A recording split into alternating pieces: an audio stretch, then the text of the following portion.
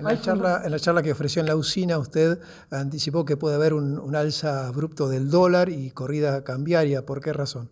Sí, lamentablemente mm, yo creo que estamos ante una perspectiva de altísimo riesgo de corrida cambiaria y que tiene que ver con, con, los fondos especulativos que han entrado al país para, para transformar dólares en pesos y, sabemos que, el, el, ciclo este de los fondos especulativos, por necesidad de los propios fondos, es si, tuvieron una ganancia en cuatro meses del 60% en pesos, y hoy tiene la posibilidad de salir pagando el mismo valor del dólar que pagaron al momento que entraba, me estoy refiriendo fundamentalmente a los dólares financieros, el contado con por ejemplo, esa misma ganancia se transforma en ganancia en dólares.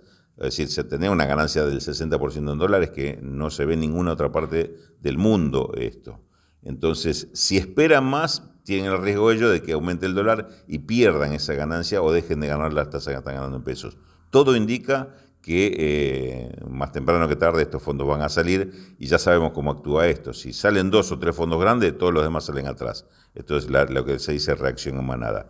Esto es la perspectiva que esto no va a demorar mucho en ocurrir. Uno no puede decir que esto va a ser la semana que viene o en 15 o en 30 días, pero en algún momento no muy lejano esto va a ocurrir. Entonces, en ese momento, esa demanda de dólares para salir de los fondos especulativos va a provocar un salto en el dólar este, inevitablemente. Y el gobierno no tiene herramientas para, para, para impedirlo.